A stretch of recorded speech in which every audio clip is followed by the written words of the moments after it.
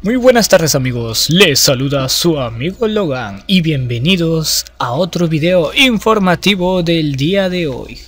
Confirmado, las primeras Steam Machines llegarán en noviembre, así es, así es, Valve ha confirmado de manera oficial la fecha de lanzamiento de sus primeras Steam Machines.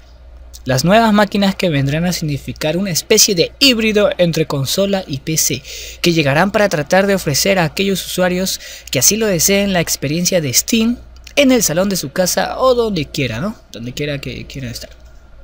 Puede ser en la cocina, en el baño, puedes jugar también. No sé, depende de ustedes. también se ha confirmado obviamente la llegada del controlador de estos nuevos sistemas y del dispositivo Steam Link. El 10 de noviembre estos tres dispositivos llegarán de manera oficial el próximo día 10 de noviembre. A partir de hoy mismo se pueden realizar las reservas de estos nuevos sistemas por tiempo limitado, aunque no en todos los territorios, obviamente, ¿no? No en todos lugares puedes hacer tu reservación.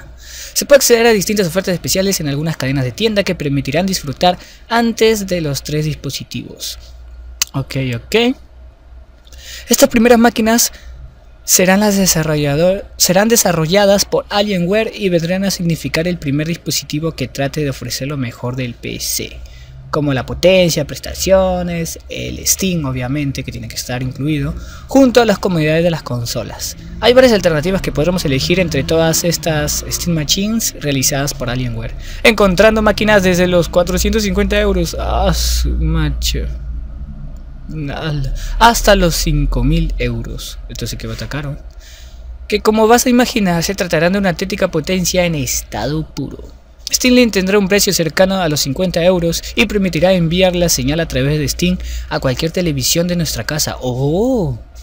Quitando en cierta medida el sentido a la propia Steam Machine en sí si lo utilizamos para streamear la partida desde nuestro propio PC. El controlador también tendrá un precio cercano a los 50 euros y será totalmente imprescindible si queremos poder utilizar la nueva plataforma.